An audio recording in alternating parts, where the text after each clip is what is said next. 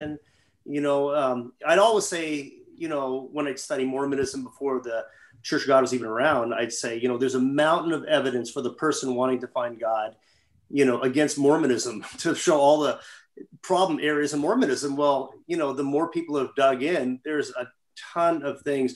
Nobody's without an excuse, without the ability, if you got the internet, to really look and to, you know, really search for the truth. Um, and I, I tell people, you know, truth, you know, when you're looking for truth, you know, the only thing that, you know, fears the truth is error and darkness runs from light. Right. right. Um, you know, beside going to the Bible, a lot of people will just just believe this, and they really got to look at both sides. I heard a saying once, like you know, if you're going to look to buy a Ford car, you know, what are you going to do? You're going to go and buy, you know, talk to, you know, Ford salesmen from dealerships. They're just going to tell you it's the best car ever made, right? Um, they're not going to, you know, if you want to know, you got to read consumer reports, talk to Ford drivers, talk to mechanics. You're going to hear both sides of the story.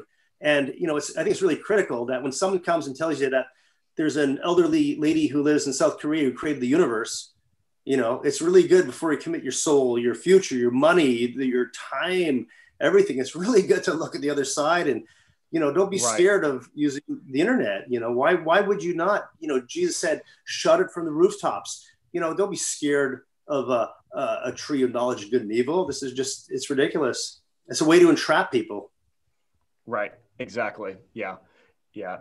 That that should go without saying that if you have a group telling you that an elderly woman in South Korea created the universe, it's seems like not a a terrible thing to do to do a little bit of searching on the internet behind these groups that are saying this to see is there any validity to this before I well one thing to one thing to yeah, point out though is that they don't tell you about that elderly korean woman until you're already you know indoctrinated yes. into the church and you've already been in most cases you've already been baptized. Yeah people have heard of you know that the church believes in god the mother but it's not until like a couple weeks after they're baptized that they know that okay god the mother she's an elderly korean woman who's still well who we're told is still living today so it's it's you know a bit of information control there too. Totally. Which, which yeah, yeah. an esoteric gap, you know, mm-hmm. often where you don't get to find out the real teachings, you know, until you're in there for a while. And it's like I missed, you know, I wasn't around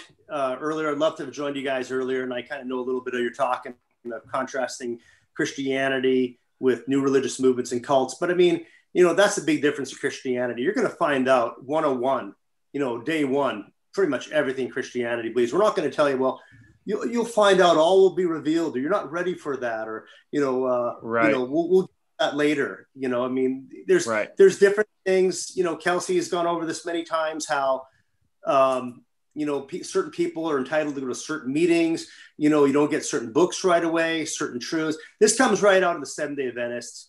Um, Seventh Day Adventists would often recruit with prophecy seminars and there's a lot of DNA right in the Church of God from the Seventh day Adventists. I mean, a lot of the doctrines, but also the methodologies that people don't talk about. That's a very mm-hmm. big thing with Seventh day Adventists, too. They don't, don't come out and tell you right away Ellen G. White is God's prophet, the third angel. They kind of wait a long time to tell you that. They get you interested in these prophecy seminars for like 25 days, and you're coming and you know studying all the stuff with them. They're telling all their funky doctrines, and then they start getting into the Sabbath and everything. And then finally, oh yeah, by the way, um, you know, in the United States, we had a, a modern prophet show up, Ellen G. White, and she taught that, you know, if you go to church on Sunday, you have the mark of the beast.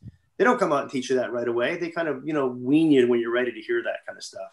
So right. I think that's that's a huge difference between, you know, Christianity or normal religions and some of these controversial new groups.